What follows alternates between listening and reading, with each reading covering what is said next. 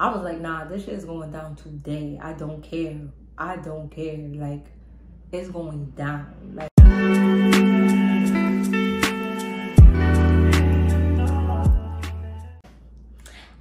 Hi y'all, welcome back to my channel. I don't even know why I said that like that. That sounds very silly ish but I like when she says it.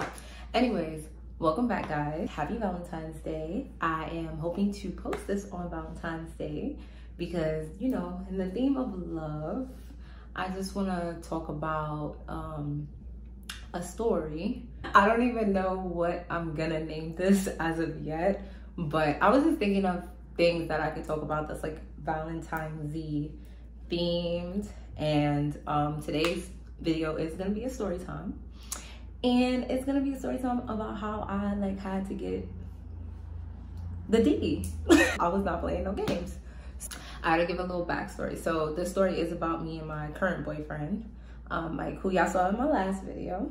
Today is actually our anniversary. Tomorrow's Valentine's Day, but our anniversary is February 13th. And I think he knew what he was doing when he did that. But that's another story for another day. But anyways, also guys, wait, hold on. Before we even get into the story, like could we look could we appreciate my nails really quickly? Cause I never really get like colors and I asked my nail lady to do something like pinksy for Valentine's Day. Get into it, yeah. As to get into the story, I gotta give a little backstory. You already know the vibe. So um when me and Mike did our video last time, you know, we did talk about how like we've been together for just about well actually as of today, seven years. And when we first met, you know, uh, we both were going through some we had just got out of like two super bad situations and at first we were taking things a little slow a little too slow for my liking but we were taking things slow. So mike slid into my dms that's how we met. And um you know he wrote me like this whole nice message he was like hey my name is mike uh, uh, i think you're pretty i'd like to get to know you da da da and so from there like we started talking on Instagram a little bit and then um, he asked for my number. I gave him my number. And then at that time, I was working overnight as he was too. So we would talk a lot on the phone like late at night while we both were at work because I was working in the check cashing at the time. So my job was super boring because no one really went into the check cashing like after 12 anyway. Um, and he was working security, so his job was boring as well. We both would be just be sitting at work, so we used to talk a lot on the phone while we were at work. So you know, like we was vibing, getting to know each other, whatever, whatever. It was cute or whatever. So we did that for like maybe I want to say like a week or two, maybe just about. And um, one night we were talking on the phone, and he tried to lie and say that he was um that he was leaving work. No, he tried to lie and say he was at work, like basically. But I caught him in his lie because, like, if you're from New York, then you know, like, the train station is mad loud. Like, so it makes announcements like when trains are coming. So he, he literally like five minutes before he had told me he was at work. But then two minutes after that, it said there's an uptown bound one train coming in two minutes. So I'm like, how you are at work, but I hear the train station. So we started going back and forth for like a little hot second, and I was like, well, I'm I, if the one train is coming, that first of all, that's some OD stalker ish. Like my my ears are supersonic and they mad small. I don't know what happened with that because I can't hear shit now, but I heard that shit say one train. So I was like, well, you on the one line, like, and you like me, come come see me at work because I was bored, I was tired, I was alone, you know. So I was like, oh, come see me, like, you know, at work. So he winds up getting on the train. He gets off like when I'm working at. At that time, I was working. Um, I can talk about it now because I don't work for that company no more. But I was working um, uptown, like on a one line in like uh, Marble Hill, like across the street from um, the I think it's Marble Hill projects or whatever.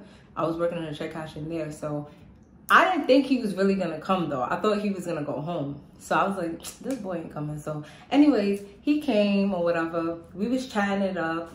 I think we went to go get something to eat after and then he went home or whatever. But he was like super like a gentleman. He didn't try to like make a move or anything. He was just chill, which I loved because I was like, you know.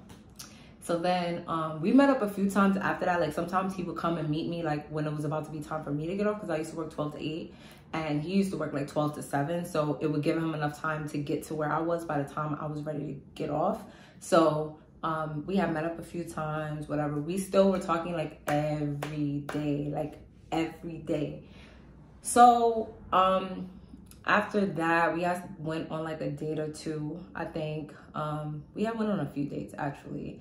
And so, you know, after that, I'm like, okay, you know, I like him. I'm feeling his vibe, whatever. He's cool. I want to know what the thing like. Like, I want to know what it's hitting for. Because I'm not trying to get involved and get all my feelings involved. And then, you know, the it's trash. So, you know, but he was super, like, laid back. Like, I think we had only kissed, like, maybe, like, once or twice, maybe three times. And so at this time, I was, I was, I mean, technically I wasn't homeless. I was homeless. Okay, so I was homeless. Well, I wasn't homeless. I was sleeping in, my brother's house in Brooklyn, but it was not a very, I'm trying to find a nice way to say this. It was not a very comfortable living situation so what I used to do, um, being that I was making a little money because I was still working, I would get like hotels here and there, like just to, you know, clear my head, be by myself, not be around a bunch of people and just clear my head and, you know, like re reset. Like that would be kind of my thing. I would get a hotel for like a day or two, chill, reset, and, you know, then go back to the normal routine, which, you know, was me trying to find a place of my own that was stable. So, you know, after a while, I, you know, I wanted to know what it was here for. So I, like, it was a few times that we had saw each other and I tried to like, but he was kind of like, and I was like, wait, but you like me, but you acting like, so it, huh? It was confusing. I just didn't know how to read him at that time because we didn't know each other like super, super well, but I, we were getting to know each other, but also was like, yo, like, I want to know what it's here for. So so what happened was I called my friend, my bro, um, Denisha, and I was like, yo, like, I don't know what to do. Like, I like this guy. I'm trying to, you know, and I don't know what it's in for. So, so what happened was I wound up booking a hotel the week before for the following week, right?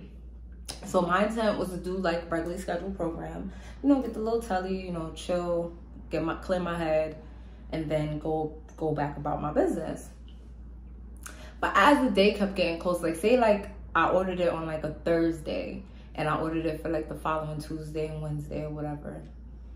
As the day started getting closer, I was thinking more about it because I'm like, I don't want to be alone. And I want to see you peacock, cock, cock, you peacock. Like also, I can kill two birds with one stone. Like I can see what it's hitting for. But I just felt like he was being so like gentlemanly that he wouldn't I didn't want to be too forward and be like, "Oh, come be with me at this hotel." You know what I mean? Cuz I wasn't trying to like I don't know how to explain it. It wasn't like I was just not trying to be like, "Oh, just you know, I wasn't trying to pounce on him. I was trying to ease him into what I was trying to do. And also, in my defense, also, I was deprived at this time. Like it was, I was, your girl was in a major drought. I had not gotten in like six months. Yes, you heard me correctly. Like six months. I was stressed the F out. And I had pent up aggression that I needed to let out. So I had already booked the room like way ahead of time. I talked to my friend. I was like, yo, like what should I do? Like, should I, you know, should I invite him to come with me to the thing? And she was like, yeah, tell him da da da da. So another mini story time inside of a story time. So before that day happened, right? I can't believe I'm exposing myself like this. This is in the name of love, like for real, for real, because I'm just exposing myself OT, but I don't even care anymore. So anyways, um, I had spoke to my friend about it. She was like, yeah, like, da da da, we all grown up. So, um, I went to Target to get condoms and this boy, like, that's how I knew he was like a little like, cause he didn't even understand what was happening. So basically, you know how like on the iPhone, like the iMessage pops up or whatever. So I was in Target trying to get condoms, right? Remember, your girl hadn't done the do in a little minute. So I didn't know like what to get. So I was texting. So I was texting him and texting my friend at the same time, right? And somehow, like, I was in the aisle, like, trying to figure out. And I know the, the employees, like, whoever's looking on that camera, they was like, yo, this girl's bugging out. I'm sitting in front of the condom section, like, like this, like, looking crazy. And so I'm texting my friend and I'm texting him at the same exact time.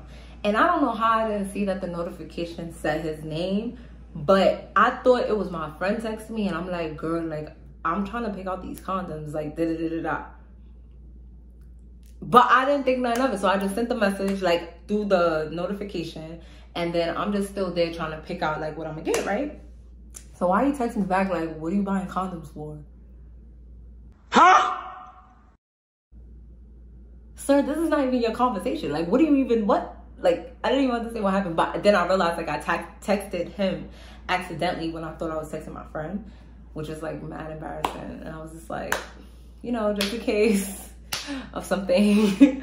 Like I, I didn't know what to say. So anyways that happened like the weekend before. And so on the day of um, I think the day before because I was working overnight so I had worked the night before. I had like a 12 to 8 shift. So me and him had been speaking throughout the weekend. So I was just like yo um Tuesday we should go out. And he was like, oh, that's cool because I, I think he got off of work early or he didn't have to work or something like that. So I was like, oh, Tuesday we should do something. And so, so the day comes, right? So now, mind you, I had to work the night before. So I got up at like 8 in the morning. So I ran back to Brooklyn. Mind you, I'm going to Brooklyn from Harlem, so this is a long ass ride. I don't know why I didn't just bring my stuff with me, but also I couldn't check in until like 4. So I run back to Brooklyn, get myself ready, like take a long, nice long hot shower, um, you know, get dressed, pack a little bag, and then I was like probably I probably took like a two hour nap and then was out back out the door because I was like, oh, like check-in is at four.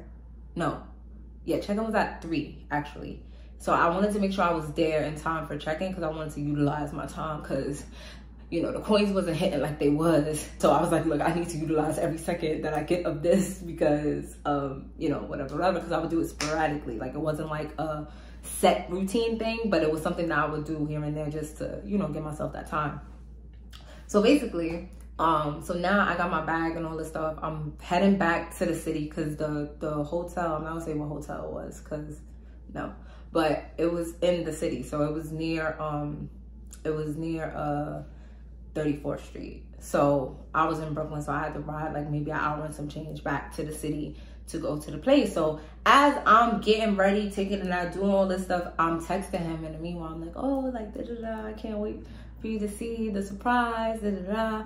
And he's like, wait, where are we going? So I'm like, I'm not telling you. Like, I'm gonna just send you the address, and you just meet me there. So basically I get to the city or whatever, I get to the hotel.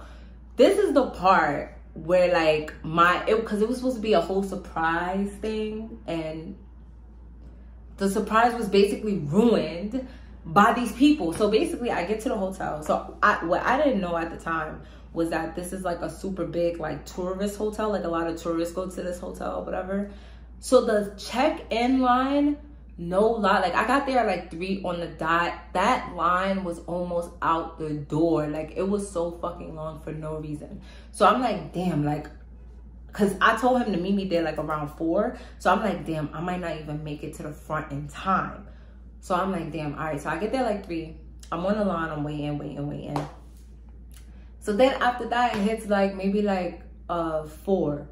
No it hits like 3.30. I'm still online waiting. Like, I was waiting for mad long. So as I'm waiting, he won't text. So, cause, all right, so then at three when I got there, I texted him the address. Cause I'm thinking like he's in the Bronx. It's gonna take him like an hour to get here anyway. So at like three, I was like, oh, meet me here at this address. But he didn't, I guess he didn't Google it or anything. Like he just was like, all right, like this one me at. So I'm on the line I'm on the line and the man, Mike, This man freaking um he texts me like, oh I'm here, where you at? Sir, like let me let me get myself settled. Like, why are you here? Like I told you four, it's like 3:30. Like, why are you a half an hour early? So now I'm like, damn, he's freaking early. God. So now I'm now I'm embarrassed because I'm like, now I have to explain to him why we're at this hotel and why I told him to meet me here. So basically he comes so I'm like, oh, go inside. He's like, so he calls me. I'm like, I'm like, oh, go inside. And he's like, inside of the hotel? And I'm like, yeah, go inside. and so he comes, he comes in, he walks in, and he sees me online, and I have like, I think I had like a little duffel bag or a little suitcase with me. So he was like, he was like, what are you doing here? So I was like, I'm getting a room, like, and he was like, you getting a room? Like, I'm like, I'm getting a room, like,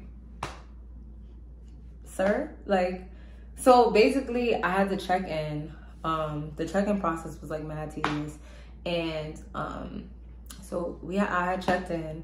So once I, had checked in and everything, we went upstairs or whatever. The things didn't go down like immediately. Like at first we was just chilling, we was talking. So I was like, after all of that, I wanted to take another shower. So I was like, oh, like you know, make yourself comfortable. I'm about to take a shower and you know, put something comfortable on, wink, wink, and you know, whatever, whatever. Cause we had been chilling, talking. I think I had a bottle with me. So we just, you know, we just vibing or whatever. So I was like, nah, this shit is going down today. I don't care. I don't care. Like, it's going down. Like, All I can tell y'all is that it's about to go down. So I in the shower, you know, put on some smell goods or whatever. Put on my little, I ain't gonna lie, at this time I could not even afford lingerie. Like, I was so poor. but I had like some cute Vicky Secrets, you know, to you know, you know, a little three for three for thirty eight, you know, you know the vibe. So um I had when the shower got out, so I was looking good. So when I came out, he was looking like like literally like that. and so I was like, oh like can I can I come lay next to you?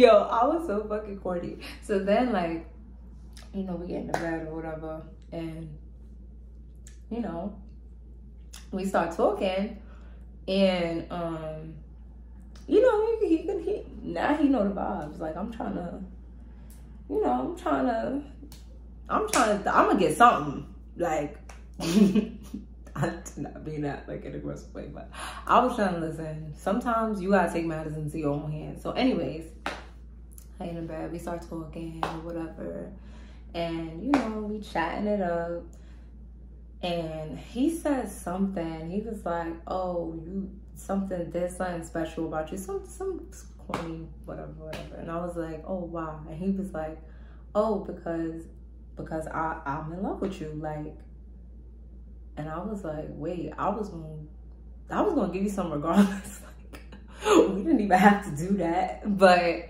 um, he actually did mean it. He was sincere. I could feel that he was sincere. And, you know, at that point in time, I was very afraid of falling for anybody because I got a really bad situation. So, you know, I had to let him down easy in that part. I felt bad, but I was like, you know, I'm not there yet, but I really do care about you, blah, blah, blah.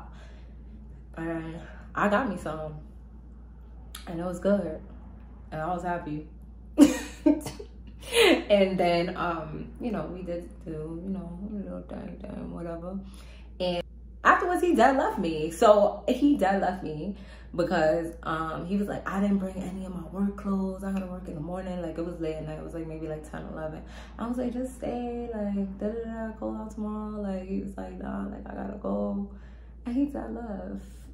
And so I thought like, all right, like you left me. Well, I was like, well, at least I got some. Like, and um, I remember like when he left, he's like, I'm so sorry, I'm so sorry, da, da, da. and I was like, nah, it's okay. You didn't even know what you was coming in for, so.